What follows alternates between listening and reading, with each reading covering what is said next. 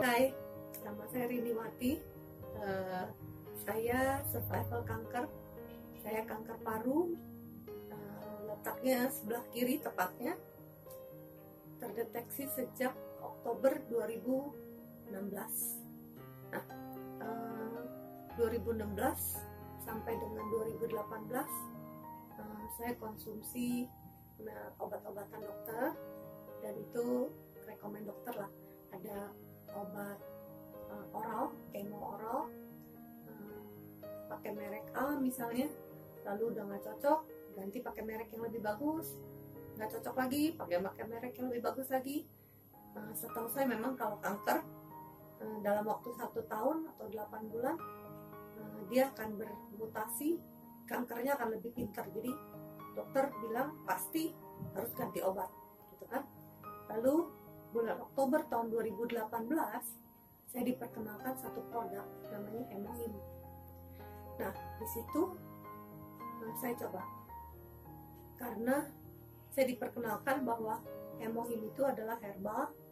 Pertama saya nggak yakin sama Hemohim obat apa sih ini? Dan ini perdagangannya dari multi level marketing.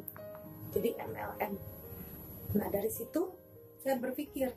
Terakhir saya mendengar bahwa dia me meminimize efek dari kemoterapi. Dan saya coba. Oktober 2018 saya mulai di kemo satu hari saya minum antara uh, 2 sampai 5 saset. Ya dan pada waktu itu berat badan saya hanya 33 kilo. Dan dokter tidak merekomendasikan saya untuk boleh di kemo karena underweight.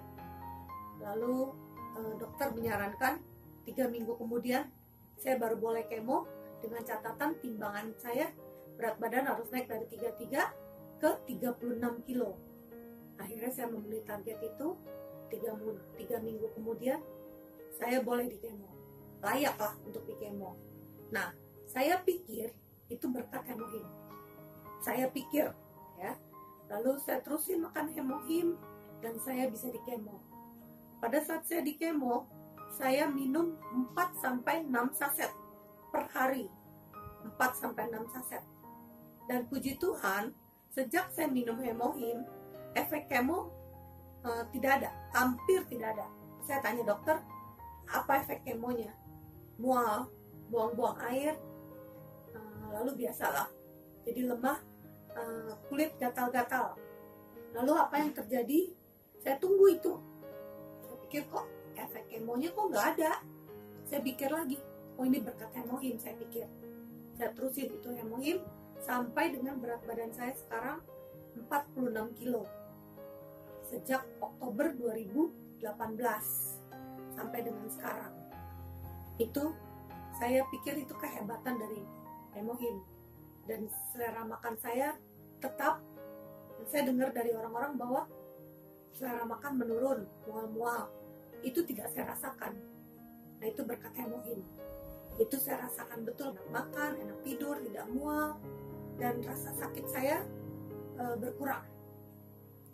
Sejak saat itu saya e, bicara ke semua orang bahwa minum deh hemohin.